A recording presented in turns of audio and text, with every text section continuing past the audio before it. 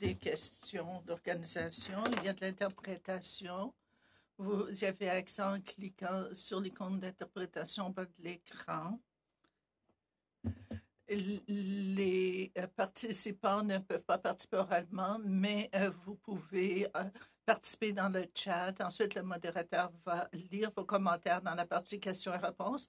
Et il y a de nombreux participants aujourd'hui. Et mes commentaires visent à faire en sorte que la réunion puisse se dérouler sans interruption. Maintenant, je passe la parole au sénateur Colin Deacon. Merci, Bénédicte, et bienvenue à tous. Au nom du sénateur Christmas, qui malheureusement ne peut pas être avec nous aujourd'hui, le sénateur Moody et le modérateur le sénateur Tanis, merci de participer à cette activité que nous attendions impatiemment. Nous vous allons entendre trois Canadiens euh, notables. Nous allons euh, discuter euh, de la, du racisme et du moyen de créer de la diversité pour tous. Aujourd'hui, je vous parle de Mali, le territoire non cédé des Mi'kmaq qui ont cédé qui ont partagé leur territoire dans la paix et l'amitié et continuent à, défendre leurs euh, leurs droits tout en luttant contre le racisme. Récemment, avec le groupe des sénateurs afro-canadiens, nous avons mené un sondage sur les entrepreneurs noirs. Les résultats ne sont pas encore disponibles, mais je vais vous dire que 76 des répondants ont dit que leur race est un obstacle à leur succès dans les affaires.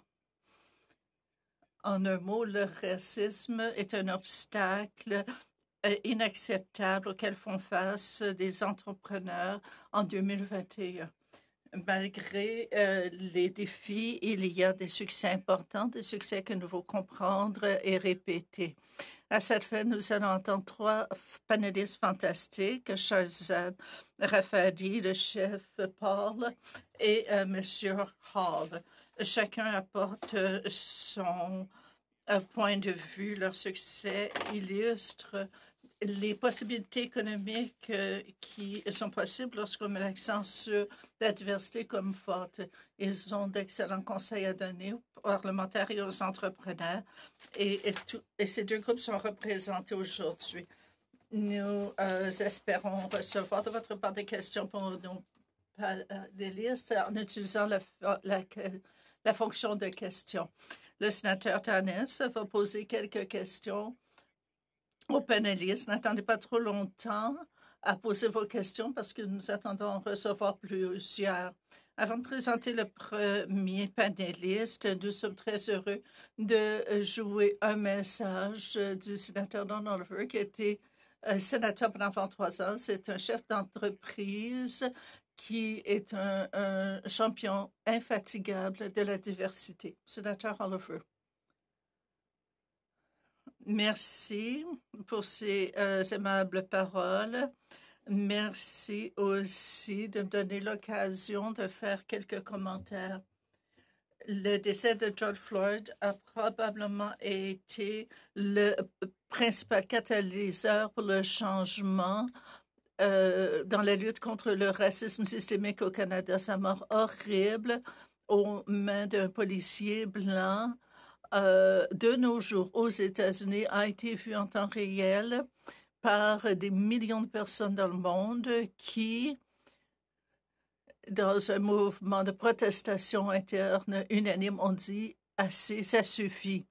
Wes Hall était l'un de ceux qui a dit assez, c'est assez ce racisme fondé sur la prémisse que le, le euh, privilège blanc doit euh, prévaloir et cela empêche de nombreux Canadiens de participer dans le développement économique comme partenaires égaux et c'est le Canada qui y perd.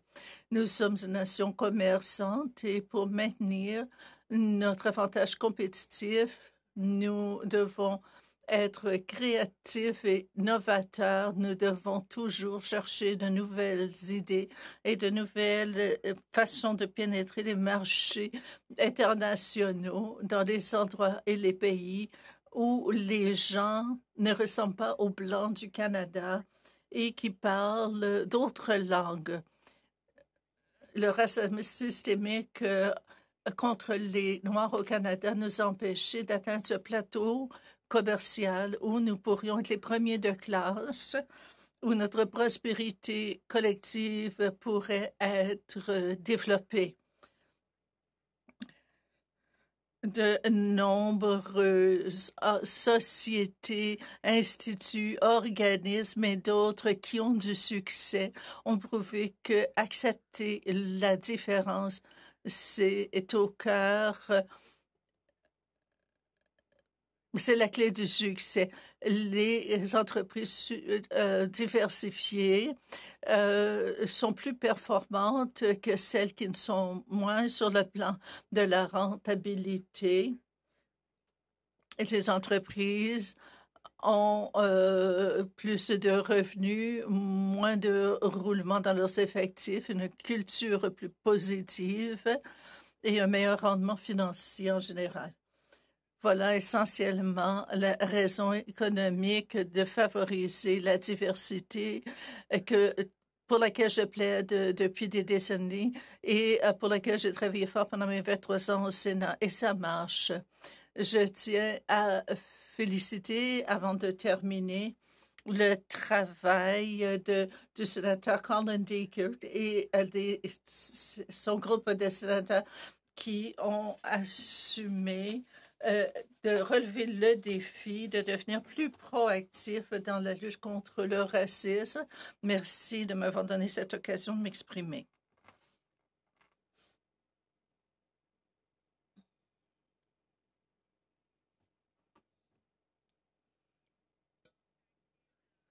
Merci, sénateur Oliver.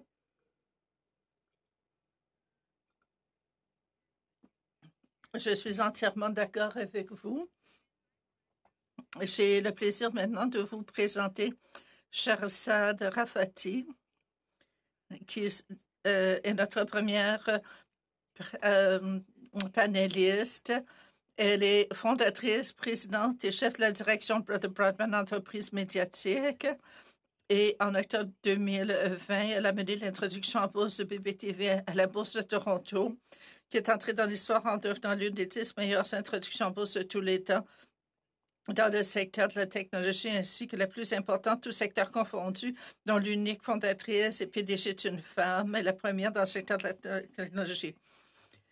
En plus d'avoir créé une entreprise incroyablement prospère qui a connu une croissance phénoménale, elle a créé une entreprise à quadruple résultat qui mesure le succès non seulement sur les performances financières, mais aussi sur les indicateurs clés de performance des employés, de la culture, de la société, de la communauté, de l'environnement. Elle recherche activement des moyens d'encourager le changement social et est une championne de l'égalité sous toutes ses formes. Elle se passionne pour la création d'emplois, l'action climatique, l'éducation, l'avancement des opportunités pour les femmes et les filles. Elle a été nommée coprésidente de G20 Empower, une alliance secteur privé destinée à soutenir le recrutement et l'avancement des femmes dans les postes de direction du secteur privé dans chacun des pays du G20 par le premier ministre. Shahzad, bienvenue. Merci de m'accueillir et je remercie le sénateur Moody Deakin et Tanis d'avoir euh, organisé cette réunion sur un sujet si important. Je suis euh, une femme première génération euh, autochtone et je m'identifie comme une femme de couleur. Et c'est un grand honneur pour moi d'être ici avec des panélistes aussi impressionnants et de pouvoir vous dire comment je pense que nous pouvons améliorer la diversité pour rendre notre économie euh, plus prospère. Et je veux aussi reconnaître que nous sommes sur les terres sacrées des peuples autochtones. Et je crois à l'égalité sous toutes ces formes. Je sais qu'aujourd'hui, nous allons euh, parler de ce sujet important. Je tiens à souligner que lorsque nous parlons de diversité sous toutes ses formes, est essentiel pour le respect des droits de la personne et je crois que l'égalité, c'est l'égalité. Et, lorsqu'on accepte une forme d'inégalité, on ouvre la porte à d'autres formes d'inégalité, euh, surtout euh, euh, du point de vue intersectionnel. Je représente le Canada. Je suis coprésidente de G20 Empower, qui est une alliance pour aider l'avancement des femmes en matière d'économie, de santé, et de développement social. Et nous voulons encourager les femmes à occuper des postes de direction et euh, je serai heureuse de répondre à vos questions. Mais euh, je vais vous faire part de mon, mon expérience et j'ai hâte à la conversation euh, d'aujourd'hui. Merci, Shazad. Je suis très impressionnée que vous ayez bâti une entreprise un secteur aussi compétitif et j'espère un jour en apprendre beaucoup plus sur votre entreprise. Il y a euh, des milliards d'heures de vidéos euh, regardées tous les jours en ligne. Donc, la concurrence est très vive et votre réputation est impressionnante. J'ai l'honneur de vous présenter le chef Terry Paul. J'aimerais vous donner euh, une idée euh, de la confiance euh, des membres de la nation Member 2. Il a été élu la première fois en 1984, l'année où euh, Pierre Trudeau a quitté le, pouvoir. Et depuis, il y a eu cinq premiers ministres qui ont développé l'économie de, de 4 ou 5% alors que l'économie des Member 2 s'est développée de l'ordre de 16% dans les années 1990, la bande avait 50 employés, avait du mal à payer ses employés aujourd'hui. Euh, la bande Member 2 est un, des, nations les plus euh, riches. C'est le miracle Member 2. Mais en fait, ce n'est pas un miracle. Ce succès a nécessité euh, un investissement et une détermination. Le succès de Member 2 n'a pas été obtenu en découvrant une mine d'or, mais en mettant à bénéfice l'art qui se trouve dans le, qui, est le talent de la collectivité, le chef Paul un membre d'une association de chefs d'entreprise il a dirigé un groupe Mi'kmaq et d'autres collectivités dans l'acquisition de Clearwater Seafoods, l'une des euh, premières entreprises de fruits, de poissons et de fruits de mer entièrement intégrés. Le chef pense que collectivités ne font que commencer. Pensez au succès de sa petite collectivité de Member 2 euh, lorsqu'on le compare à toutes les autres collectivités qui n'ont pas réussi cette transition. Je pense que euh, euh, la réussite du groupe Member 2 doit être examinée pour pouvoir répéter ce modèle ailleurs. Chef Paul, j'ai un peu de problème technique. Alors, est-ce qu'on peut passer à Monsieur Hall. On reviendra au chef pas lorsque ces problèmes euh, techniques sont réglés. Alors, euh, ça fait longtemps que j'entends parler de Wes. La première fois, lorsque mon neveu Jeff a travaillé avec lui dans les tout débuts de, de son entreprise Kingsdale Advisor.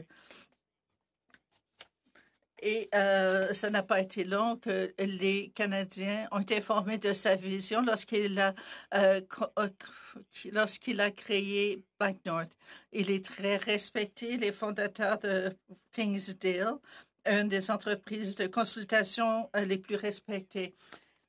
20 des 60 plus grandes entreprises dépendent de West pour lui donner des conseils sur leurs principales transactions investing in dozens of businesses beyond Kingsdale, from a large environmental Et il investit en grand nombre de secteurs du Canada, de toutes sortes, y compris des hôtels, dans les Caraïbes, et des centaines d'employés dans ces entreprises font preuve de la diversité qui peut permettre la prospérité à tous. Il a également contribué aux œuvres caritatives. Il est l'un des plus généreux Canadiens que nous connaissions. Il euh, aide non seulement un grand nombre d'œuvres caritatives, mais des milliers d'étudiants un peu partout, y compris dans les Antilles, qui ont pu accéder à leur formation et leur éducation grâce à Wes. Alors, au cours de quelques semaines l'été dernier, Wes a créé l'initiative Black North, le Nord noir, qui vise à réduire les obstacles systémiques qui ont un effet négatif euh, sur les Canadiens noirs et qui les empêchent de d'accéder à un potentiel, un plein potentiel. Un milliard de dollars, billion de dollars est représenté par les entreprises qui ont été des par Ouest. Cela représente un une façon de contrer euh, le racisme anti-noir. Et, c'est avec grand plaisir que nous l'entendons parler ici aujourd'hui. À vous, West. Sénateur Deakin et autres, merci beaucoup pour euh, cette belle occasion de contribuer à cette discussion avec des collègues, des amis estimés. Je n'ai jamais eu le privilège de m'adresser à des sénateurs ni à quelques gouvernements à ce niveau. Donc, c'est vraiment un honneur d'être des vôtres. Je suis honorée que vous m'ayez invité à participer. Une correction, Sénateur Deacon, c'est maintenant 500 entreprises qui ont signé l'engagement Le Nord Noir et ça continue à croître. J'aimerais commencer en disant un peu au sujet de moi. J'ai ici cette image, cette photo que je garde sur mon bureau sur Bay Street lorsque je travaille à mon bureau. Et maintenant que je travaille en virtuel, je l'amène ici dans mon bureau virtuel pour l'avoir toujours près de moi. C'est la ville dans laquelle j'ai grandi, St. Thomas Grove, en Jamaïque. Cette photo, c'est ma maison. Ça, c'est ma grand-mère. Et me voilà, j'ai 19 ans environ. Si vous regardez cela de près, vous verrez que la maison est construite sur des morceaux de bois pour le, pour le l'élever car nous avions des inondations dans ce quartier. Et je me souviens qu'enfant, j'étais assis là où on voit les enfants et mes jambes pendaient dans l'eau. J'étais très heureux de pouvoir jouer dans l'eau. J'avais plusieurs frères et sœurs. Heureusement, j'ai pu immigrer au Canada en 1975. C'était un vendredi, je m'en souviens. Je garde cette photo avec moi, toujours, pour deux raisons. Premièrement, c'est pour me rappeler mes origines afin de ne jamais oublier d'où je viens. Et deuxièmement, afin d'honorer ce grand pays qu'est le nôtre, du fait que je viens d'un endroit comme ça, que j'ai eu droit à cette occasion de venir au Canada, pas juste pour venir travailler dans une grande banque, mais simplement l'occasion de venir au Canada. Et grâce à cela, cette possibilité de venir au Canada, j'ai pu devenir qui je suis aujourd'hui. J'ai pu connaître le succès que je connais aujourd'hui. La raison pour laquelle je me passionne pour la diversité en notre société, c'est parce que des occasions de la sorte où un jeune peut venir d'un lieu comme ça, comme en Jamaïque, et venir au Canada, vivre à Melbourne, c'est vraiment un quartier dur de la ville de Toronto. Et déjà, ça, ce changement, c'était comme venir au paradis pour moi. C'était vraiment ça, le niveau de contraste que j'ai vécu en venant à Toronto quand j'étais jeune. Et j'ai rencontré des gens vraiment géniaux. Grâce à tout cela, j'en suis arrivée où je suis. Donc, ce pays, nous devons l'honorer. Toutefois, il y a des failles dans notre système et si nous ne sommes pas en mesure de reconnaître ces failles, nous allons toujours avoir des difficultés et nous ne serons pas en mesure de créer les West Halls du Canada et de notre monde en faisant venir des immigrants ici pour qu'ils vivent pleinement leurs possibilités. Permettez-moi de dire brièvement qu'il y avait eu un rapport publié en juin 1992. Souvenez-vous-en, là, il y avait eu la décision concernant Rodney King et tout ce qu'on connaît de cela. Et la décision du tribunal fut que les officiers, les policiers qui l'avaient presque tué, ont été libérés. Il y a eu des manifestations un peu partout, comme vous le savez, y compris au Toronto. Donc, le premier ministre Ray, à l'époque, avait demandé un rapport. Et voici, écrit par Stephen Lewis, un rapport sur les relations entre les races à Toronto. Et vous avez vu ce rapport sans doute. Et le premier ministre de la province a dit à Stephen Lewis, qui était un homme blanc, il lui a dit, écoutez, dites-nous si nous avons des problèmes interraciaux ici, en notre province. Ce qu'on voit aux États-Unis, est-ce que ça se passe au Canada aussi, surtout et plus particulièrement en Ontario? Et voici ce que M. Lewis a écrit. Bon, pour commencer, ce que nous visons ici, c'est un racisme anti-noir qui existe. Tout groupe minoritaire vit des indignités, le racisme systémique, mais c'est la collectivité noire qui en achoppe le plus. C'est les Noirs qu'on descend à coups de balle. C'est les jeunes Noirs qui ont difficulté à trouver des emplois. C'est des étudiants et étudiantes noirs qui sont trop critiques à l'école. Et c'est les jeunes noirs qui ne terminent pas leurs études. C'est des quartiers avec plusieurs noirs où la vulnérabilité et les désavantages sont les plus prenants. C'est les employés noirs, professionnels et non professionnels, qui sont empêchés d'avancer dans leur carrière. Alors le multiculturalisme ne peut pas contrer le racisme et le racisme ne peut pas être laissé tel quel. Le racisme se trouve partout et en divers lieux, en divers temps, ce racisme touche certaines collectivités plus que d'autres. Alors, tel que l'une une personne l'a dit, les Noirs, nous sont les premiers, les chefs de file en matière en la matière. Ça, ça fait plusieurs années de cela. Et vraiment, il s'agissait d'une genre euh, de, de, commande gouvernementale pour savoir ce qui s'est passé. Il y a très peu de choses qui ont résulté. Voilà pourquoi ça vaut la peine d'en parler maintenant, parce que vous avez le privilège et vous avez l'honneur de pouvoir intervenir, de faire ce qu'ils ont omis de faire il y a une trentaine d'années de cela pour corriger le système, pour faire que le système soit juste et équitable envers tous. Pour terminer, lorsque le gouvernement de l'Ontario a annoncé ce que nous croyons être la loi martiale en Ontario, dans notre collectivité noire de l'Ontario. Moi, je suis un homme noir qui a connu le succès. Je suis l'un des meilleurs entrepreneurs. Grand nombre de personnes au Canada n'ont pas pu faire ce que j'ai fait. Et moi-même, j'avais peur de quitter ma maison après qu'ils aient fait, ont fait cette annonce vendredi. Mes enfants ne voulaient pas quitter la maison non plus. Ils avaient peur. Parce que je savais que moi, on me traiterait différemment que les autres citoyens de Rosedale, du quartier où j'habite. Et ça, c'est le genre de lacune faut, auquel il faut remédier si nous voulons vivre une meilleure société canadienne. Merci, sénateur. J'ai beaucoup d'autres choses à dire, mais on pourrait en discuter plus tard. Merci. Oui, c'est un grand merci pour cet euh, apport si personnel vos commentaires qui font bien comprendre la réalité de cet enjeu, de cette difficulté.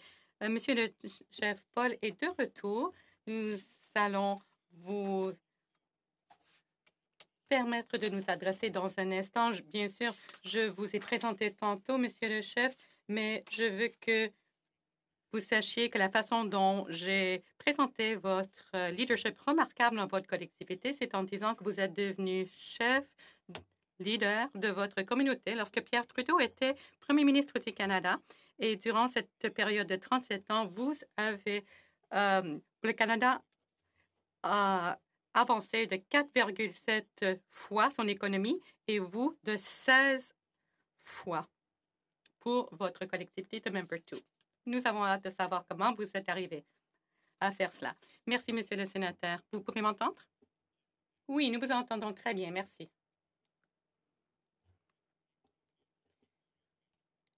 Oui,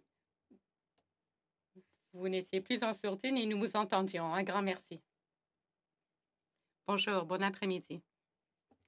Il me fait plaisir d'être des vôtres aujourd'hui et je vous viens de ma belle collectivité de Member 2. Je remercie le sénateur Dan Christmas, mon grand ami, collègue et euh, voisin, de m'avoir invité à me joindre à vous pour cette conversation si importante. Se rassembler pour parler d'inclusion, pour parler de la représentation, de la diversité et en quoi ça importe, surtout au gouvernement, c'est une étape importante pour avancer et faire avancer la cause du Canada inclusif. Depuis quatre décennies, nous travaillons pour former, éduquer et assurer le succès de nos concitoyens. Le sénateur Dan et moi, nous nous sommes assis au début de nos carrières pour discuter de choses sérieuses. Et dans nos discussions, nous avons prévu des chemins à entreprendre. Premièrement, de s'assurer que nos collectivités ne sombrent pas dans la défaillance économique et de s'assurer que nous pourrions créer du neuf pour nos collectivités. Nous avons décidé d'entreprendre des voies nouvelles pour assurer la prospérité de nos peuples. Lorsque j'ai dit, je dis que nous sommes allés à la recherche de la prospérité, je veux dire cela à tout égard, tous les aspects de la prospérité. Nous voulions que nos collectivités connaissent une belle économie, une belle santé, un bien-être, de l'éducation pour tous et des possibilités réelles pour tous les citoyens. Ça n'a pas été facile. Et nous connaissons encore des difficultés.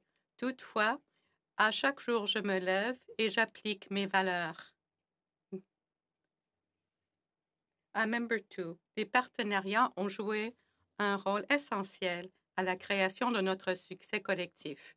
Ces partenariats sont souvent avec des meneurs, des dirigeants de secteurs industriels.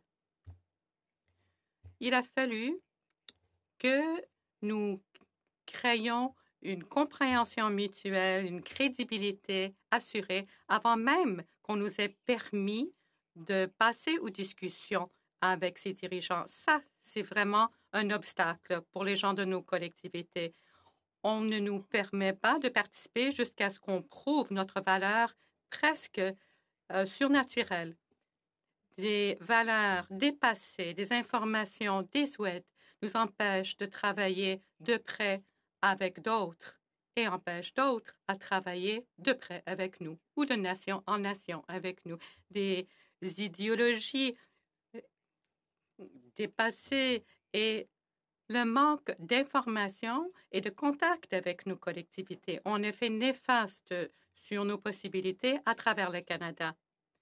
Il y a quand même des avantages importants qui peuvent découler d'un travail conjoint. Prenez par exemple l'acquisition de Clearwater Seafoods, cette société à laquelle notre collectivité a participé aujourd'hui.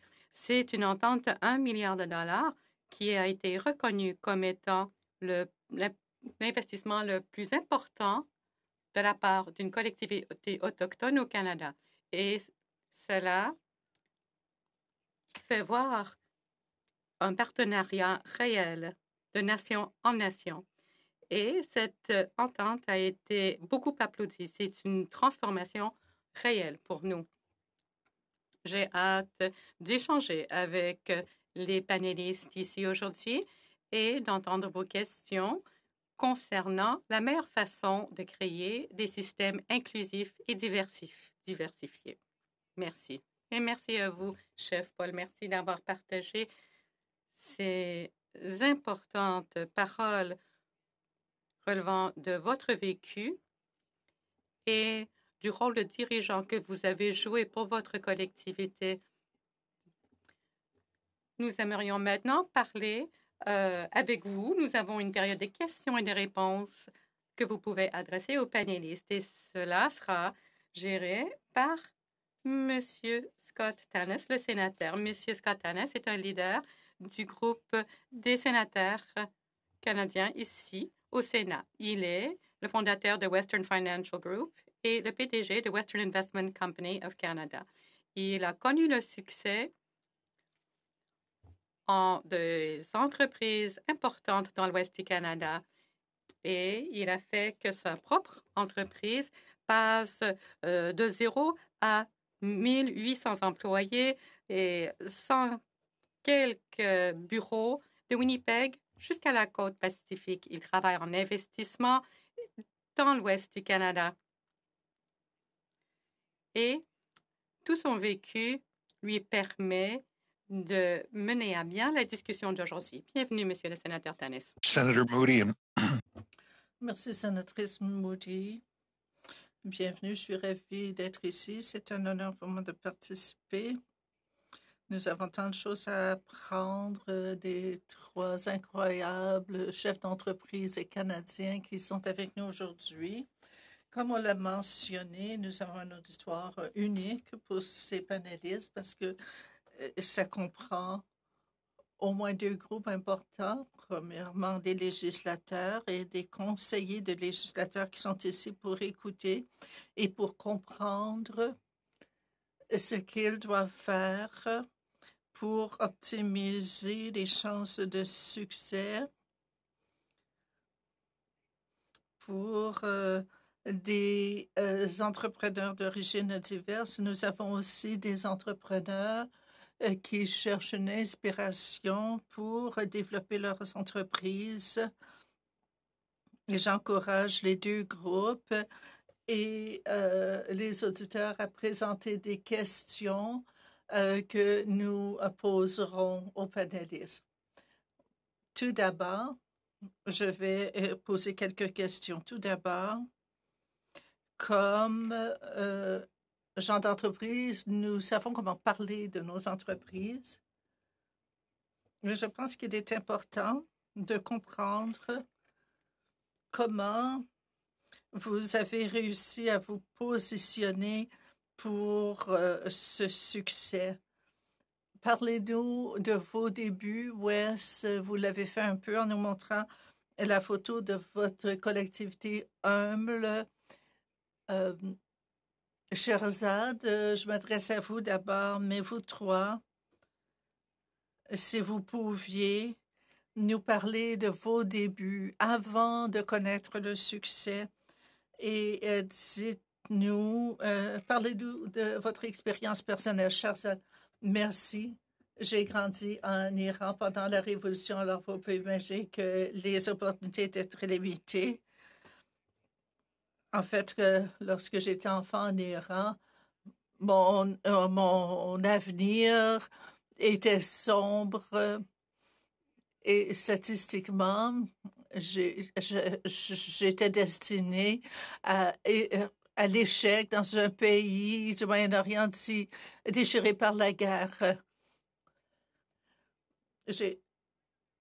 En Iran, l'accès au contenu populaire était rationné et l'inégalité était une réalité quotidienne et on avait accès juste à une poignée de chaînes et je pouvais voir le pouvoir du contenu même à cette petite échelle. Donc, à 17 ans, j'ai déménagé à Vancouver avec juste une valise, euh, aucune connaissance informatique et peu d'anglais. Et ma passion pour la technologie et les maths m'ont amené à étudier les mathématiques pures à l'université. Et le contenu m'a aidé à apprendre le langage, à découvrir d'autres cultures. Et tout à coup, il y en avait tellement. Et c'est à cette époque que j'ai développé le modèle d'entreprise pour BBTV. Et j'ai pensé, lorsque j'ai visité CES pour euh, observer les applications de l'audio numérique développé par Steve Jobs avec le iPod et je voulais jouer un rôle important dans la démocratisation du contenu et c'est pourquoi j'ai créé ma société. Vivre l'inégalité de première main euh, nous donne l'envie d'être un facteur de changement positif. Et ça m'amène à citer Gandhi, soyez le changement que vous souhaitez voir dans le monde. Et c'est pourquoi je suis venue au Canada pour avoir accès à plus d'occasions et dans une société inclusive. Et lorsque j'étais une jeune adolescente, je savais que je voulais bâtir une entreprise mondiale. Et c'est ce qui m'a donné la chance de développer mon entreprise, on mesure le succès par le rendement financier, mais il faut faire attention aussi aux, aux gens, à la société, à l'environnement, parce qu'au bout du compte, tout part de vous. Nous avons tous un rôle à jouer. Et je crois que le vrai succès, c'est l'influence qu'on peut avoir dans le monde. Et c'est pourquoi l'entreprise est une plateforme de changement positif. Et je crois que les entreprises sont la principale plateforme pour le changement. C'est pourquoi euh, je suis tellement euh, passionnée par euh, notre entreprise qui, qui montre qu'on peut développer une entreprise mondiale qui amène des changements positifs où l'égalité, c'est vraiment l'égalité. Merci. Chef Paul, je ne sais pas votre histoire personnelle, ce que vous avez fait avant de devenir chef et, de commencer la transformation de la, de la collectivité de votre entreprise? Parlez-nous de vos débuts.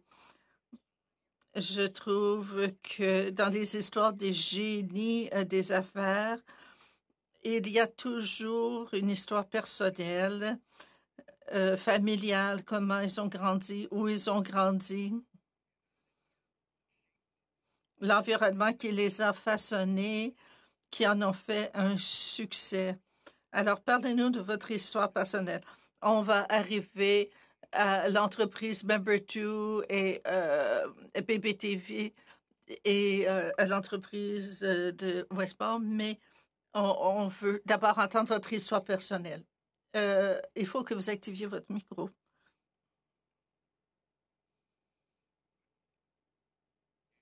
Vous m'entendez?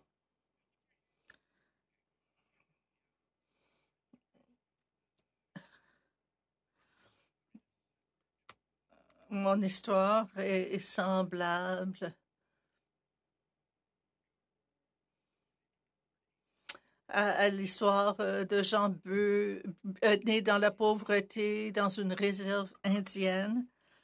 On nous appelle les Indiens, mais nous ne sommes pas Indiens. Les vrais Indiens vivent en Inde et ils sont partout dans le monde. C'est des gens euh, euh, formidables, mais ce sont eux les Indiens, pas nous.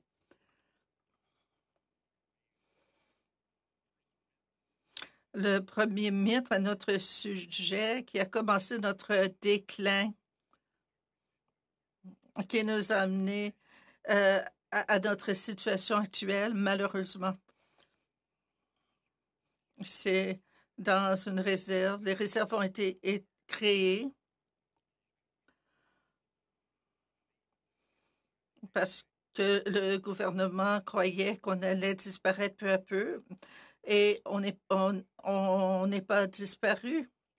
Et que je sache, les réserves, ce sont pour les, les animaux, pour le bétail, pour les garder à un endroit, pour s'assurer qu'ils sont mieux administrer ou gérer.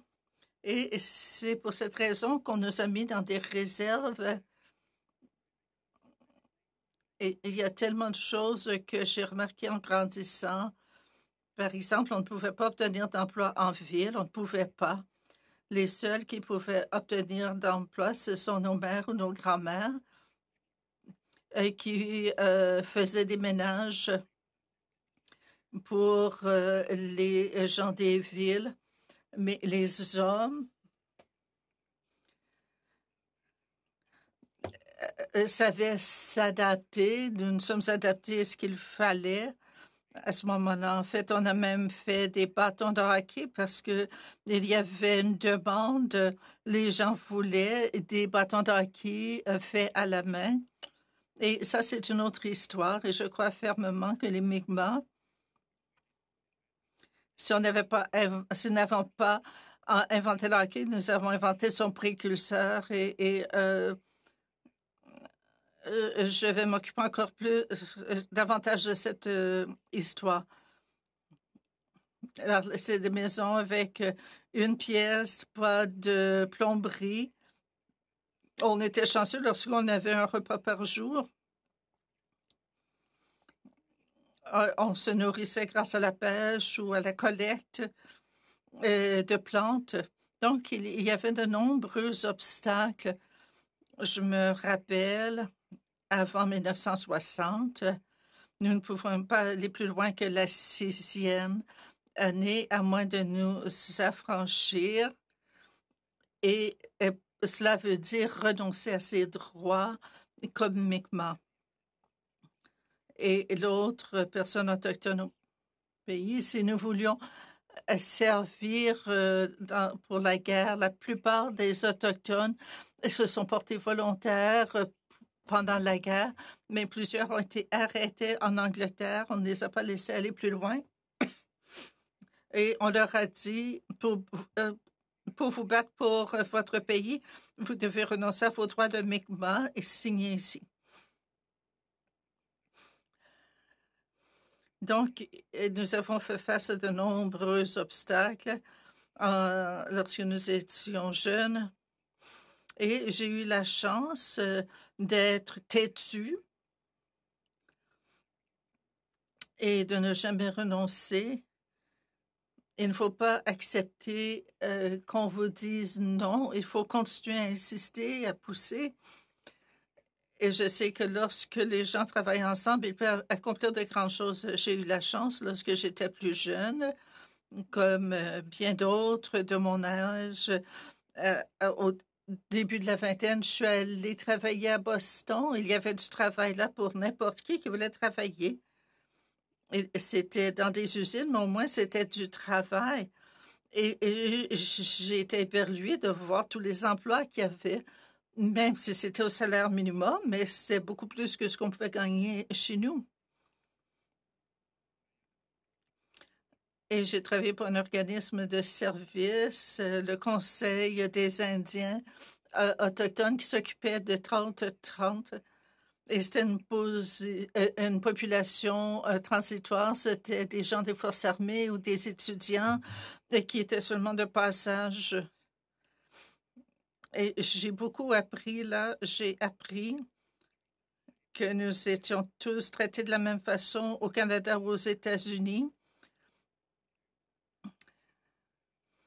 Si vous étiez une personne de couleur, moi vraiment, je ne vois pas la différence de couleur. Et c'est une chose qui contribue à ces différences. Il y a des gens de couleur et il y a des gens qui n'ont pas de couleur. Nous sommes tous la même couleur, euh, c'est juste des tons différents. Mais lorsqu'on entend au Canada, si vous êtes d'Irlande euh, ou de France ou d'Écosse, vous êtes un Canadien comme les autres. Mais si vous venez d'Asie, vous êtes un, Canadien un Canadien d'origine asiatique, un Asio-Canadien ou un Afro-Canadien ou nous sommes autochtones, nous sommes nés ici. Et je pensais que nous étions des Canadiens canadiens, si vous voulez vraiment nous mettre une étiquette. Je pense qu'ils sont les, les Canadiens, euh, les premiers Canadiens. Et on va passer maintenant à West et on va revenir parler de vos entreprises. Ouais, savez-vous quelque chose à ajouter sur vos débuts? Et euh, euh, pourquoi est-ce que vous ne parlez pas aussi de Kingsdale, de la création de votre entreprise? Parlez-nous un peu de, dites-nous ce que ce qu'est Kingsdale et si vous voulez ajouter un peu de couleur. Et dites-nous, lorsque vous avez su que vous euh, aviez euh, euh, créé quelque chose de valeur. Eh bien, merci, sénateur Tanès. Eh bien, je vais montrer cette photo.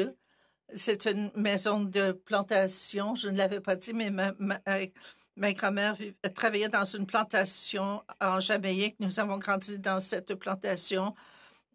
Et, et les propriétaires d'implantation donnaient euh, ces maisons à des chambres à leur travailler. On était tous tassés dans cette euh, maison de deux pièces. Et ma grand-mère s'occupait de nous tous et travaillait sur la plantation.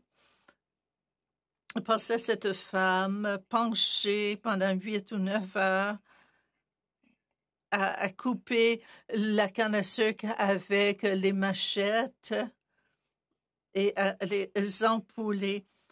Et elle se reposait seulement pour prendre une gorgée d'eau et, s'essuyer le front. Elle faisait ça pendant des heures parce qu'elle était euh, payée en fonction du nombre de, cannes, de cannes à sucre qu'elle coupait. Et ensuite, on cueillait des noix de coco et un, tracteur venait. J'allais travailler avec lui, avec elle lorsque j'étais jeune et on cueillait les bananes. Et ce qui est intéressant du banana, c'est qu'on prend un couteau et on le coupe et il y avait une liquide qui sortait. On était recouverte de cette liquide en fin de journée. On n'avait pas d'eau courante, pas d'électricité à la maison. Il fallait aller à la rivière pour se laver. C'est ce que nous faisions comme enfant, aller puiser de l'eau à la rivière. Alors, mon père a décidé de venir au Canada. Pourquoi? Parce que, à l'époque, les gens aux États-Unis euh, bien, euh, ne voulaient pas nécessairement qu'on aille au Canada, en fait. Ils préféraient les États-Unis parce que le Canada, c'était vieillot. Mais euh, mon père, il avait beaucoup lu sur le Canada. Il adorait l'idée du Canada. C'était un cricketeur et il a quitté donc la Jamaïque. Il est venu ici, il s'est créé une nouvelle vie ici. Lorsque j'avais 16 ans, il s'est dit, le moment est venu de faire venir mon fils, mon fils de la Jamaïque, ici au Canada. J'ai vécu avec lui deux ans durant. Je ne le connaissais pas à l'époque. Nous n'avions pas vraiment de relation, donc. Alors, dans ma dernière année de l'école secondaire, j'ai quitté. J'ai vécu tout seul et j'ai terminé l'école tout seul. J'ai fait, euh, j'ai occupé des emplois assez euh, géniaux, par exemple capter des oiseaux, des. Euh, écoutez, si vous voulez savoir ne pas quoi faire, ah ben, faites des emplois comme ça. Et Bay Street, mon premier emploi, c'était au poste dans une entreprise de Bay Street. Et c'est là que j'ai commencé à voir qu'il y avait autre chose aussi dans la vie. J'ai quand même commencé à Scarborough, à Toronto. Et là, les occasions ne sont pas, euh, pas très prenantes. Quoi vous, quoi, vous travaillez dans une usine, dans un restaurant peut-être, mais c'est à peu près tout. Et là, j'ai commencé à comprendre qu'il y avait autre chose au Canada, qu'il y avait Bay Street. Là, je euh, travaillais dans la salle euh, tout simplement de la gestion du courrier, mais là, j'avais entendu des choses nouvelles. Je regarde le chef Terence Hall qui nous parle des teintes, des couleurs des gens. Le Canada n'a pas un problème de couleur. Le Canada a un problème par rapport aux gens qui ont des privilèges et les gens qui n'en ont pas. Et les privilégiés, malheureusement, ils ont tous l'air pareil. Et ceux qui n'ont pas de privilèges, malheureusement, ils sont tous l'air semblables aussi. Et sur Bay Street, là, je voyais toutes sortes de gens étonnants, privilégiés. Et moi, j'étais dans les couloirs, je regardais dans les bureaux, il y avait des avocats à leur bureau, euh, des appels conférences, et ils étaient mais vraiment étonnants. Ils, ils, étaient euh, surprenants pour moi. Et je me suis dit, ah, je veux être comme ça. Je veux comprendre comment ils y arrivent. Comment ai-je pu comprendre? Bien, en les suivant de près, en les regardant de près, j'ai regardé leur façon de réseauter, de travailler ensemble. Et tout cela, je l'ai observé en déposant le courrier. Et j'ai commencé à pouvoir comprendre comment m'y prendre moi-même. J'ai pu donc me dire, un jour, je vais créer ma propre entreprise et je vais créer l'entreprise à succès que j'entrevois. Ce sera vraiment l'entreprise le plus importante du Canada. Et là, j'ai créé ce qu'on appelle euh, euh, la, euh, des compagnies militantes. Mais j'ai dit, écoutez, je vais créer une entreprise qui permettra de conseiller ces, ces gens-là à succès, ces blancs, sur la façon de s'y prendre avec leurs problèmes, disons, les achats hostiles, les... Et avec cette approche militante, euh, j'ai créé quand même une nouvelle approche. Je suis allée voir les banques personne ne voulait euh, me financer. Pourquoi? Je l'ai appris éventuellement. Écoutez, aller travailler dans les salles d'affaires des grandes entreprises du Canada et moi j'étais noire et ils étaient tous blancs. J'allais leur expliquer comment gérer leurs actionnaires. Eh bien, les banques ne me croyaient pas. Mon plan d'affaires était très risqué et les banques ne voulaient pas m'appuyer. C'est pour cela que la représentation, ça compte. Je suis allée et dans une banque CBSC et j'ai vu un noir d'Inslat Bay et je suis allée expliquer mon analyse de rentabilité. Il m'a dit Ah, mais c'est génial.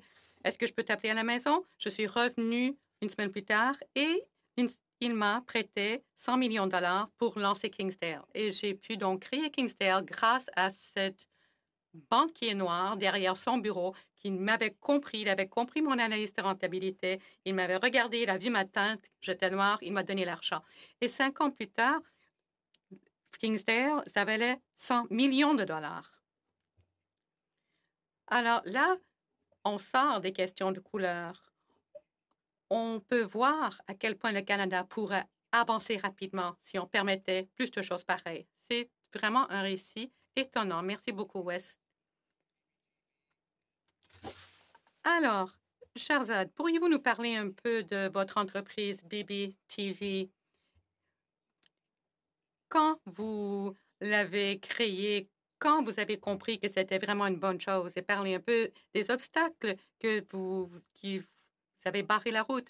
Oui, c'est bien de parler des solutions. Oui, nos histoires personnelles, c'est euh, bien de les entendre, mais il faut parler du progrès qui que nous envisageons ensemble. Bon, alors BPTV, nous sommes une entreprise média technique et nous aidons tous les créateurs, des particuliers et d'autres entreprises à connaître un succès numérique plus important.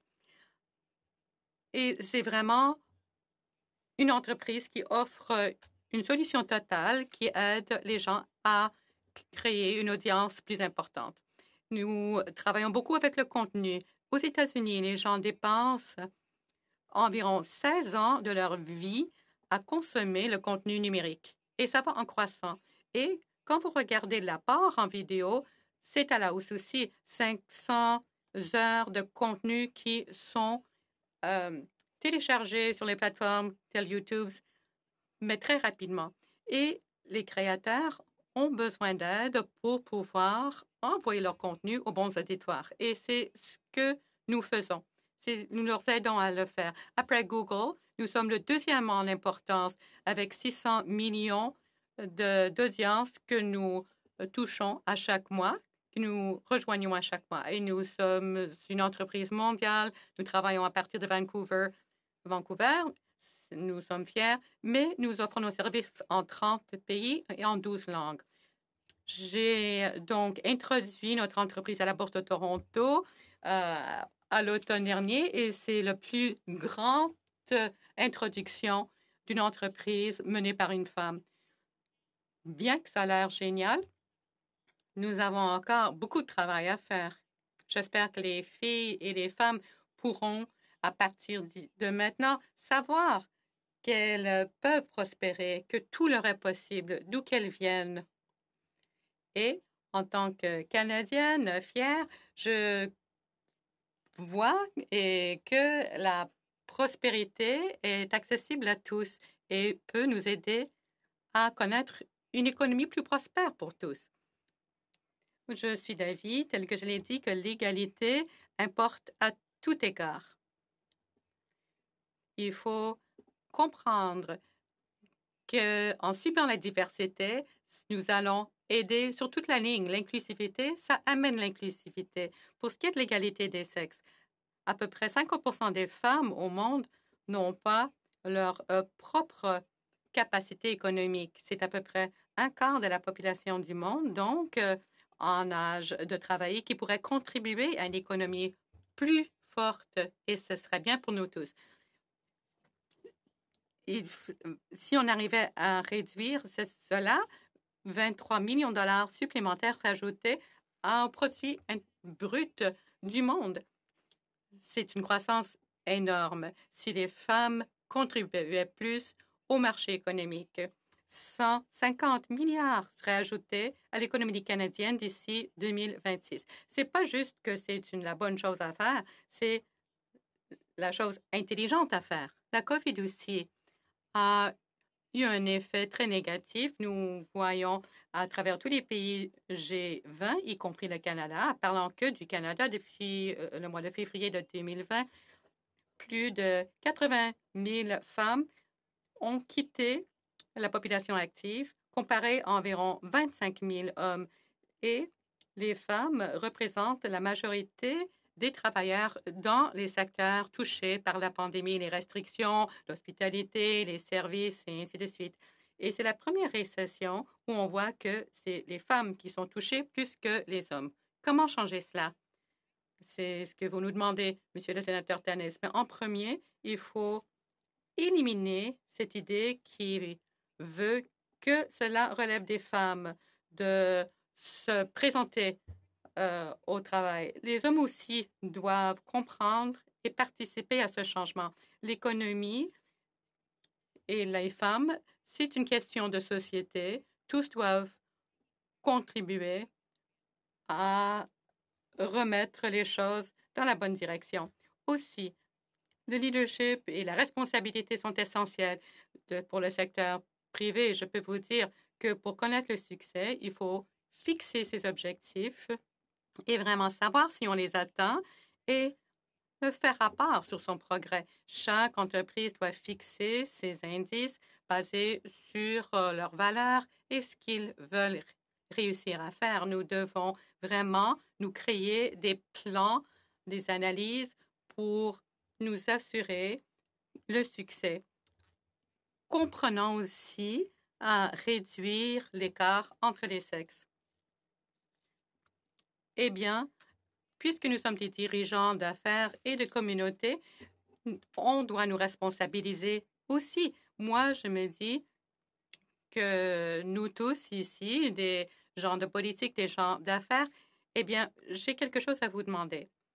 Pour ceux qui créent les lois de notre pays, nous sommes un pays progressiste. Vous êtes des dirigeants progressistes. Et je vous demande de faire un peu comme l'Espagne l'Islande, la Californie, qui ont des mesures particulières pour assurer l'égalité entre les sexes, des cibles pour que les femmes soient mieux représentées en affaires. Les entreprises doivent, en Californie par exemple, avoir au moins une femme membre de la direction. L'Islande et l'Espagne ont adopté des lois pour que 30 des dirigeantes soient des femmes. La Finlande, 40%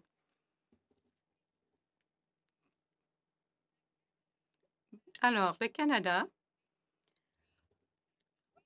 doit prévoir des changements de la sorte. Le moment est venu. Le défi initié l'année dernière, 30-40, c'est un bon début. C'est plus qu'un défi toutefois. Il faut fixer des cibles précis. Il faut s'assurer qu'on atteigne ces cibles pour que les entreprises puissent assurer le changement interne et externe. Alors, nous, dirigeants dans le secteur privé, voici ce que je nous demande à nous. Il faut reconnaître, mesurer, fixer des cibles par rapport à l'égalité. McKenzie fait valoir que ces objectifs euh, c'est pas juste pour faire le bien, c'est également pour faire ce qui est intelligent pour assurer notre euh, prospérité économique, surtout que les investisseurs et les clients visent des entreprises qui répondent à leurs besoins et qui répondent à leurs valeurs. La représentation des femmes en des postes de dirigeants n'a avancé que de 3% dans tous les pays G20 depuis 10 ans. Et même à la baisse a, baissé au Canada de 1 depuis 10 ans. Et par rapport à notre groupe G20 Empower, nous l'avons créé de par une alliance avec le secteur privé qui vise à mettre euh, les femmes en meilleure posture dans tous les pays du G20. Pour nous, eh bien, nous voulons encourager le secteur privé que ce secteur joue un rôle réel pour régler cette en jeu et en faisant qu'un quart de la force euh, de la population active puisse vraiment participer à l'économie pleinement et y prospérer. Nous savons tous que ce qui est mesuré est mieux géré. Je comprends très bien ce que vous dites. Je pense que vous avez bien exprimé. Si je vous ai bien compris, nous devons commencer établir euh, des objectifs et gérer notre progrès vers l'atteinte de ces objectifs en tant que législateur. Et ce que vous avez mentionné est essentiel en ce sens.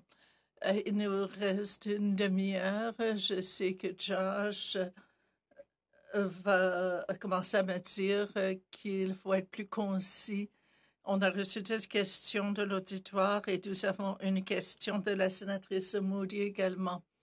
Donc, je proposé qu'on passe tout de suite aux questions et on commence par la sénatrice Moody. Merci, sénateur Tanis. Euh, je serai brève. En tant que migrante euh, au Canada, euh, c'est une discussion très importante pour moi. Merci d'avoir partagé vos idées là-dessus. Vous êtes tous des gens uniques et talentueux, sans dire que vous avez beaucoup de succès, malgré les obstacles que vous avez dû surmonter. Maintenant, lorsque vous pensez à la manière d'aider euh, d'autres à, surmonter les obstacles systémiques, pouvez-vous nous dire quelle est, d'après vous, la source secrète, la chose, euh, le système de croyance qui vous a aidé à réussir? Et puis, je vais vous demander de, de vous en tenir à une minute chacun. On commence par le chef Paul. Euh, euh, vous pouvez, votre micro est activé, vous pouvez parler. Ah, ben,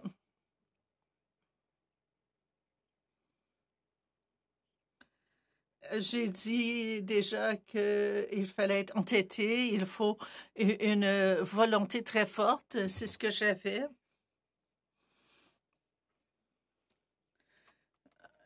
j'ai la confiance d'être qui je suis, un homme Mi'kmaq. Je sais que j'appartiens autant que n'importe qui d'autre, euh, que j'ai ma place dans ce pays. Et nous avons une langue, une culture qui peuvent contribuer au progrès du pays. Nous l'avons euh, prouvé. Et il ne faut jamais accepter euh, non comme réponse. Wes? J'utilise toujours une analogie sportive. J'utilise le football pour euh, me montrer le, rôle de celui qui porte euh, le ballon, c'est de se faire frapper. Tout le monde lui court après, essaie de le faire tomber. Mais il est bâti pour prendre ses coups. Lorsqu'on le frappe, il rebondit en fait, il rebondit et euh, renvoie le ballon euh, au visage de la personne qui l'a fait tomber. Et lorsqu'il voit un peu de lumière, euh, une petite percée, il fonce et marque un but. Et lorsque quelqu'un d'autre essaie de jouer ce rôle, il est exclu. Donc, lorsque vous êtes une personne racialisée dans un monde non racialisé, surtout lorsque vous êtes noir sur la rue vous êtes ce joueur qui porte le ballon et vous allez être frappé souvent. Et si vous voulez survivre dans cet environnement, il faut que vous continuez de vous ramasser pour continuer. Et j'ai créé Black North parce que je ne veux pas que toutes les personnes noires, toutes les personnes de couleur euh, euh, soient ce joie. Je veux qu'ils s'instruisent, qu'ils obtiennent un emploi, qu'ils travaillent fort, qu'ils obtiennent des promotions et qu'ils continuent à monter, avancer s'ils ont le talent. Un joueur qui n'a pas de talent euh, n'est pas appelé à jouer. Donc, nous devons créer un environnement, un milieu où les gens peuvent être qui ils sont et obtenir l'emploi euh, qui leur convient en fonction de leur euh, formation, de leur talent. Donc, euh, c'est comme ça que j'écrirai euh, mon cheminement. Et moi aussi, je vais être brève. Euh, le principal facteur, c'est de saisir les euh, occasions importantes. Ne cherchez pas la solution à un petit problème si vous pouvez régler un gros problème. Suivez votre passion, vous ne réussirez pas si ce que vous faites ne vous passionne pas. Toi, le travail et la persévérance, c'est absolu. Personne n'a réussi du jour au lendemain, ça n'existe pas. Et ensuite, il faut euh, avoir une vision à long terme et rester euh, déterminé à atteindre cette optique. Et il faut aussi s'entourer de gens incroyables. Donc, euh, voilà mes cinq conseils si vous voulez réussir. Merci. Nous allons maintenant passer aux questions des auditeurs. Josh, vous voulez lire une question? Oui.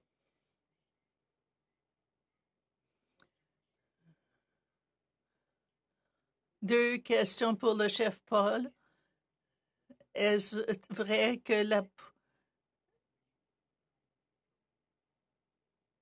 Est-ce que les, Autochtones peuvent vraiment réussir euh, dans le cadre de la loi sur les Indiens? Et comment est-ce que Clearwater va changer maintenant que euh, l'entreprise appartient à des Premières Nations? Est-ce qu'elle a un mandat ou une vision différente? Eh bien, deux questions incroyables. Et je vais vous demander de, euh, répondre en deux minutes. Eh bien, d'abord, la loi sur les Indiens devrait être abolie, aurait dû être abolie déjà. On, ne l'utilise plus tellement, Dieu merci, ou, merci à qui de droit.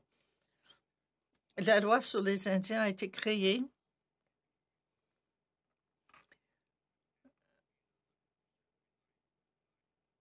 Pour que les collectivités euh, deviennent dépendantes à 100% et euh, euh il ne faut pas dépendre entièrement du gouvernement. Donc, euh, au début des années 90, c'était notre point de départ et maintenant, 87% de nos recettes sont euh, nos revenus gagnés. C'est le changement qu'on peut faire. Et l'autre question sur Clearwater, et comme j'ai déjà dit, euh, c'est une transformation pour nous. Ça change tout pour euh, les peuples autochtones. Et c'est un catalyseur pour d'autres acquisitions semblables. Nous sommes propriétaires à 50% nous euh, avons euh, voix au chapitre en ce qui concerne l'orientation de l'entreprise. J'ai la chance d'avoir un que nous ayons un partenaire de la Colombie-Britannique qui a une feuille de route incroyable. C'est incroyable ce qu'ils ont fait, ce qu'ils peuvent faire. Et nous savons que c'était que la création de ce partenariat, c'était euh, la meilleure décision qu'on pouvait prendre. Premium Brands n'achète pas des entreprises, ils achètent euh, une équipe de gestion. Et ils aident à développer l'entreprise et à la rendre meilleure euh, que ce qu'elle était. Et on le constate déjà. Et nous avons beaucoup de chance. Nous avons une présence dans pratiquement tous les pays où on mange du poisson, nous leur vendons du poisson. Donc, euh, c'est un nouveau départ pour nous. Nous avons des structures. Euh, les gens peuvent, nos gens, euh, on, peut considérer que c'est comme une université.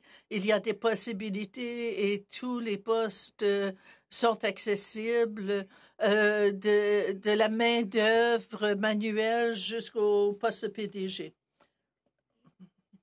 Josh, une question du sénateur euh, Deakin, sénatrice Deakin à M. Hall.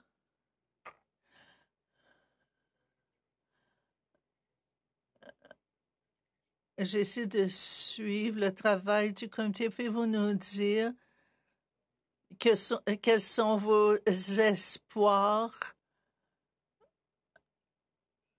De succès? Merci pour cette question. Nous avons 16 comités qui font partie de l'initiative Black North et ils sont créés pour s'occuper euh, d'un obstacle systémique, par exemple. Il comité euh, de responsabilité euh, de, euh, économique euh, dont le mandat est d'aider les, euh, personnes noires à avoir accès au capital. Il y a un comité de l'éducation pour mentorer les étudiants du secondaire et de l'université et de nouveaux exécutifs qui sont euh, mentors pour les gens qui veulent accéder à la gestion. Ça ne fait pas un an qu'on a créé euh, ces groupes.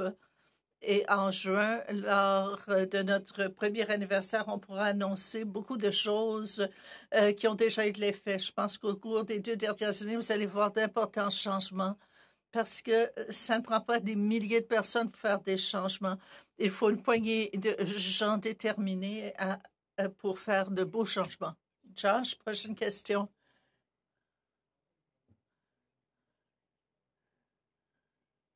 Comment est-ce que la gouvernance peut changer? L'interprète a beaucoup de mal à comprendre les questions. Je demande à Chazan de répondre. Excellente question. Lorsque vous parlez de genre, euh, euh, je dois dire que on peut établir des, objectifs. Il est important de budgéter et d'accorder euh, la même attention aux autres objectifs qu'aux objectifs financiers.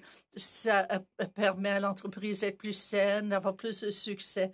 Par exemple, à BBTV, nous avons des politiques d'entrevue qui nous assurent qu'on qu'on interviewe toujours deux femmes et deux hommes qualifiés pour chaque poste. Et il n'y a pas d'écart euh, depuis cinq ans. Et parce qu'on a, fixé des objectifs, on a budgété ça. Et pour nos gestionnaires, euh, c'est un facteur euh, de. C'est un objectif qu'on fixe à nos gestionnaires. Il faut qu'ils aient des objectifs à court et à long terme. Merci. Prochaine question.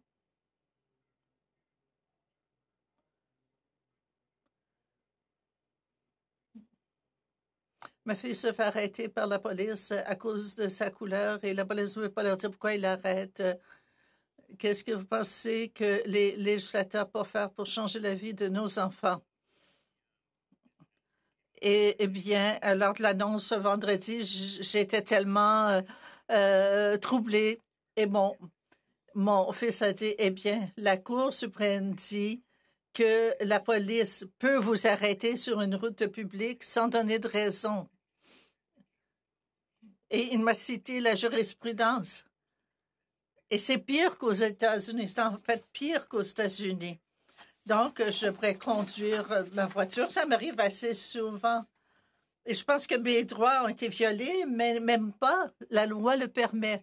Donc, en tant que législateur, vous devez euh, savoir que cette loi peut donner lieu à des abus. Et assurez-vous que lorsque le législateur adopte de telles lois, qu'il pense à l'inclusivité. Par exemple, lorsque le premier ministre provincial a parlé d'arrêter des gens, s'il avait consulté des personnes noires comme moi, il ne l'aurait pas fait parce que ça nous passionne, parce qu'on sait l'impact que ça a. Donc, il faut que des gens comme moi, qui représentent la collectivité qu'on essaie de servir, soient membres de ces comités où on prend les décisions pour qu'il n'y ait pas de, de point mort euh, dans les décisions qu'on prend. Merci. Uh, Josh? Merci, Josh. La prochaine question. Nous pouvons encore en entendre quelques-unes. Le sénateur Tony Lafreda. Les défis usuels Parmi celles-là, lesquelles sont les plus difficiles à surmonter? Le financement, les partenariats, les clients, et ainsi de suite. Et l'avis le plus important que vous partageriez avec les jeunes entrepreneurs, le conseil le plus important. Et aussi, Madame la sénatrice Mégy nous demande ce qui en est de votre vécu par rapport au financement. Est-ce difficile d'avoir accès au financement bancaire? Et est-ce qu'il y a des différences lorsque vous avez des partenaires blancs quand vous allez faire la demande? Des blancs avec vous qui vous appuient. Je vais vous laisser un petit moment pour répondre à ces questions, les obstacles les plus importants qu'il s'agissait pour le financement, pour créer des partenariats, et ainsi de suite, ou autres. Avec vous, cher Sad, pour commencer. Oui, ça me fait plaisir. Alors, le défi le plus important, être une femme, une femme entrepreneur, eh bien, d'habitude, on le voit, nous savons qu'il n'y en a pas beaucoup. Les investisseurs, euh, ils n'ont pas l'habitude d'offrir l'argent à des femmes fondatrices. C'était l'un des défis principaux auxquels j'ai fait face. Aussi, euh, étant non canadienne au début, lorsque je voulais lancer une entreprise canadienne, au début, il voulait, on, voulait vraiment déplacer l'entreprise vers la Californie. Les investisseurs voulaient nous déplacer en Californie. Il a fallu qu'on batte fort pour garder notre entreprise au Canada. Bon, cela dit, préparez-vous. Assurez-vous que vous êtes fort intelligente. Soyez trop préparé pour vos réunions parce que quand vous savez ce dont vous parlez, tout le monde vous écoutera. Donc, la préparation, ça compte. C'est vraiment une clé du succès, la meilleure clé du succès, la préparation. Ça vous permettra de convaincre tous par rapport à l'investissement. Merci, fantastique. Monsieur le chef Paul. Eh bien, pour nous, la loi sur les Indiens, c'est l'un des obstacles les plus importants. Ça nous empêchait d'avoir accès aux investissements. C'est la loi elle-même, les règlements qui découlent de cette loi. Je suis d'avis que le gouvernement pourra apporter ces changements, qu'ils ont les outils voulus pour y arriver. Ils ont des possibilités euh, d'orientation euh, pour réduire et complètement défaire ces obstacles. Par exemple, les banques, ils ont donc une façon d'évaluer qui que ce soit qui vient les voir, même dans nos collectivités, d'où on vient, à Member 2 depuis si longtemps, ils ont une façon autre de coter les Autochtones, même si nous avions des cotes supérieures à d'autres. Le simple fait qu'on venait de Member 2 et ce qu'ils envisageaient comme possibilité, bon, les banques même n'avaient pas le droit de recevoir nos actifs. C'est ça, c'est vraiment une difficulté majeure. D'autres facteurs, eh bien, d'où on vient, là où on habite? Déjà, ça vous donne une cote moindre, faisant que vous devez payer des taux d'intérêt plus élevés et plus longtemps, rembourser aussi plus. Mais je ne sais pas si les grandes banques nous écoutent maintenant, les banquiers, est-ce que vous nous écoutez? Mais un homme très sage m'a dit, il ne faut pas leur faire confiance, mais il faut s'en servir. C'est ce que nous faisons. Nous avons également une programmation conçue par nous-mêmes, par des Autochtones. Ça nous permet d'accéder à des investissements privés. Pour moi, c'est une solution réelle pour toutes les entreprises autochtones, car un pourcentage plus élevé de notre financement vient euh, du Trésor public et ce n'est pas une bonne situation, cela. Car l'entreprise euh, dépend de l'argent privé, du secteur privé. Il y a beaucoup d'argent. Si vous voulez aller le chercher, vous savez comment vous y prendre. Il y a des institutions qui ont été créées pour aider et nous nous en servons. Oui, vous avez été l'un des meneurs à cet égard dans ces offres justement de financement de la part de Member 2, d'obligations, par exemple. Alors, West, je vais vous demander votre réponse et puis nous entendrons Madame la sénatrice Moody par la suite. West, oui, tout à fait. Les banques euh, ne favorisent pas les entrepreneurs noirs. Par exemple, l'une des entreprises que je voulais acheter il y a des années de cela, eh bien, la banque ne l'aimait pas. Ça se vendait pour 13 milliers de dollars. Je me disais que c'était très bon, 13 millions plutôt. Et la banque a dit non, non, on ne va pas financer cela. On n'aime pas cette affaire. On ne pense pas que vous êtes le meilleur pour l'acheter. Et ils ont dit non. À ce moment-là, la banque avait 100 millions de dollars de mon argent et ne voulait pas me prêter 13 millions. Alors, j'ai insisté, j'ai insisté. Éventuellement, ils ont dit oui, mais il faut que tu nous donnes 13 millions en capital et une garantie euh, aussi personnelle. Donc, j'ai sorti tout mon argent, je suis allée voir une autre banque. En dedans de cinq ans, cette entreprise que j'ai achetée existe toujours et vaut 16 millions de dollars aujourd'hui, doublé donc de valeur. Le gouvernement a dit l'année dernière que nous allons lancer ce programme euh, d'appui financier au noir et les banques vont l'administrer. Bon, c'est clair qu'ils n'ont pas consulté avec des gens connaissants dans les collectivités de parce qu'ils auraient tout de suite compris que ce n'est pas une bonne façon de faire. On ne peut pas tout remettre cela entre la main des banques. Des grands nombres de Canadiens blancs qui ont moins de liquidités que moi ont facilement accès à des investissements offerts par les banques. Alors, rapidement, lorsque j'ai lancé Kingsdale, je suis allée voir l'une des grandes banques. Je faisais justement une affaire avec cette grande banque. Je suis allée euh, voir les directeurs et vraiment, ils m'ont traité comme euh, n'importe quoi. Ils n'ont même pas écouté ce que je leur présentais. Et là, j'ai dit, écoutez, la prochaine réunion, j'amène mon partenaire d'affaires. Et il se donne que mon partenaire d'affaires, ce n'était pas vraiment mon partenaire, je vous le dis, mais c'était un homme dans la cinquantaine, blanc, cheveux gris. Il est rentré avec moi. Moi, j'ai rien dit. Je lui avais dit exactement quoi faire. Et moi, j'étais, c'était mon entreprise, mais j'avais juste fait semblant que c'était mon partenaire. Et on nous a donné tout ce qu'on, qu'on avait demandé. Beaucoup de respect aussi. C'est le genre de choses qui se passait. Il faut transformer cela. Mais de façon plus positive, je peux vous dire que j'ai maintenant deux banquiers euh, dans ce groupe euh, moi, pour ramener la situation à la normale pour les Noirs au Canada. Ils sont prêts à nous aider maintenant. Alors, rapidement, Madame la sénatrice Moody, merci à nos panélistes aujourd'hui. Vous avez décrit euh, votre vécu, l'intersectionnalité du racisme et du sexisme à l'appui d'obstacles qui continuent à empêcher le succès pour d'autres que vous avez quand même connus. Nous, nous avons besoin d'un Canada libre de tels obstacles. À nouveau, merci. Je tiens à vous demander à chacun, en une minute ou moins, de partager les trois points importants que les, les parlementaires influents doivent comprendre de votre présentation, que ne voulez pas que nous loupions. Alors, Charzad, West et Chef Paul.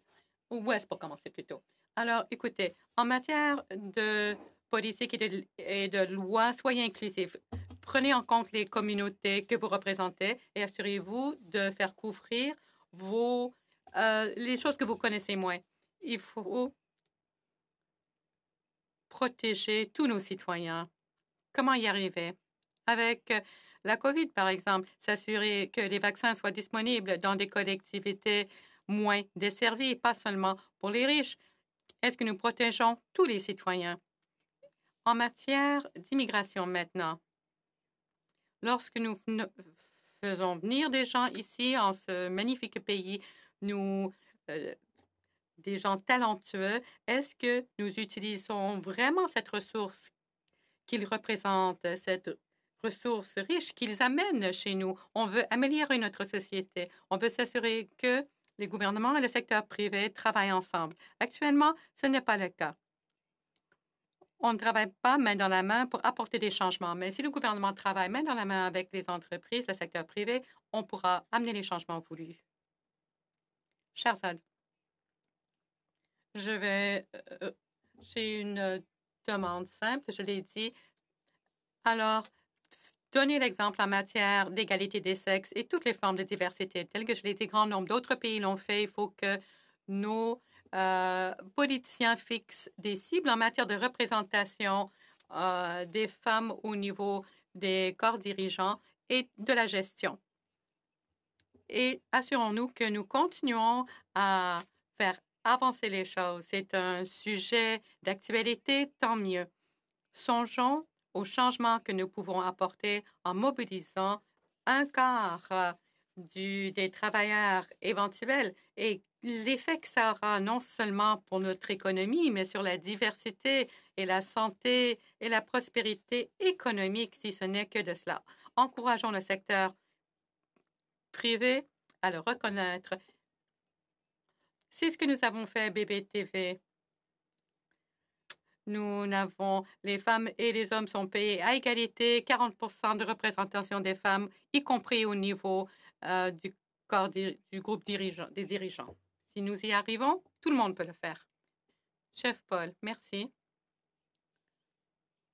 L'inclusivité, c'est la responsabilité de tous.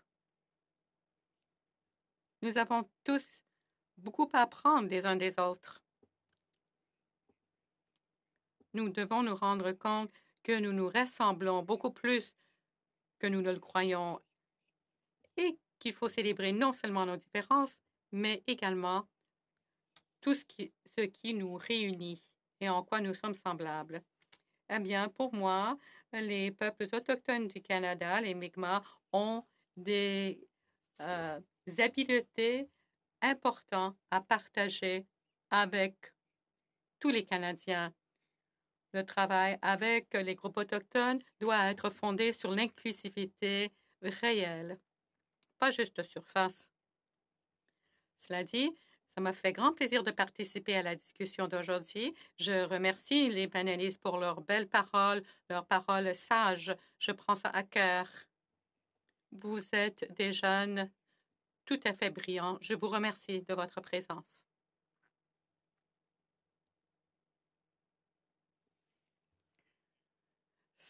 Scott, vous êtes en sourdine peut-être. Pardon, pardon. Ah, je me suis trompée. Alors, il nous reste quelques minutes. Madame la sénatrice Moody, Monsieur le sénateur Deakin, les mots de la fin. Et merci de m'avoir permis de participer, d'animer ces géniales panélistes.